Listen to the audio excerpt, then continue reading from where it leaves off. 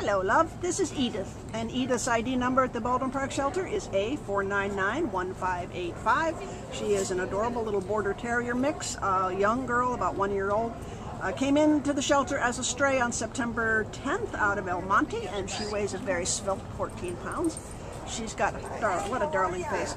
She she's uh, okay on a leash. Uh, might possibly use some more training, but she's fine. She takes the leash without objection, so that's a good start.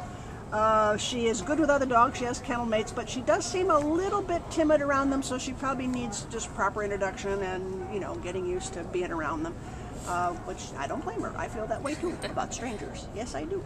She's just a darling little girl. Uh, Kristin, what do you think about her energy level? Yeah, I'd say she's a medium energy girl. She's still basically a puppy. Yeah, yeah. Um, but not hyper, just kind of ready to go, with Right. walks.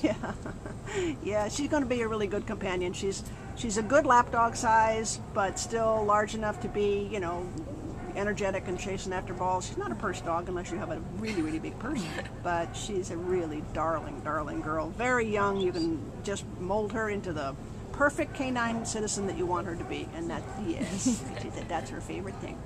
She's just a doll. This is Edith, so come on down to the Baldwin Park Shelter. She's available right now. Meet her and take her home and get her started on a wonderful life. Good girl.